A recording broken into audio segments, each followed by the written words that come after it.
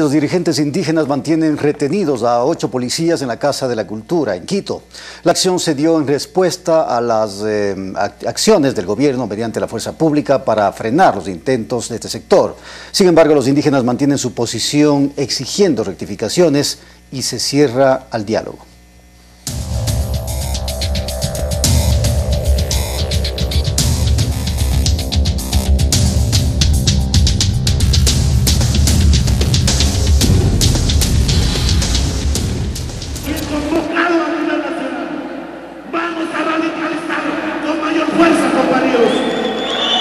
Así los representantes de las comunidades indígenas presentes en Quito no ceden en su postura ante el gobierno nacional, cerrándose a cualquier negociación o diálogo sin que antes se cumplan sus pedidos. Lenin Moreno, el pueblo indígena, pide la derogatoria del 883.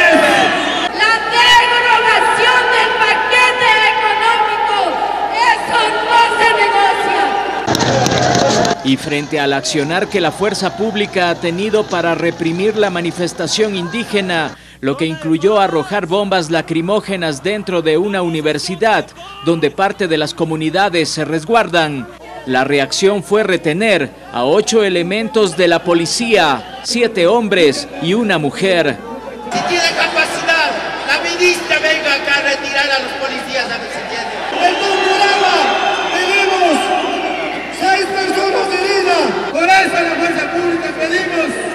En vez de estar en contra del pueblo, súmese al pueblo, que no queremos más violencia. Nos hemos acercado voluntariamente. No vamos a actuar.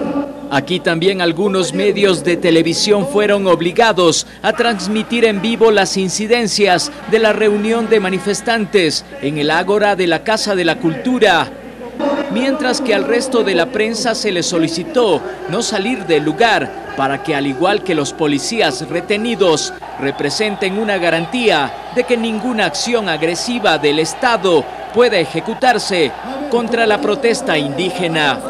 Santiago Villasañay, Telerama Noticias.